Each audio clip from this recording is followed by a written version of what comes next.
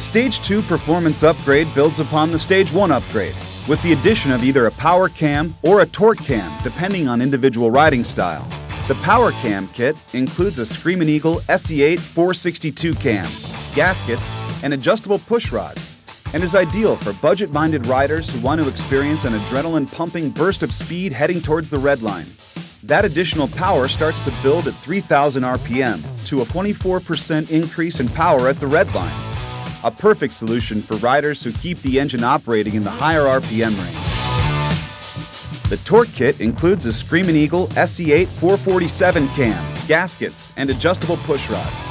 Ideal for budget-minded riders who want to experience crisp throttle response and acceleration they can feel at slower speeds. The 5% increase in torque can be felt immediately off the line, all the way to a 14% increase and perfect for passing slow-moving vehicles without downshifting. Both kits maintain the 24-month factory vehicle warranty and are 50-state US EPA compliant.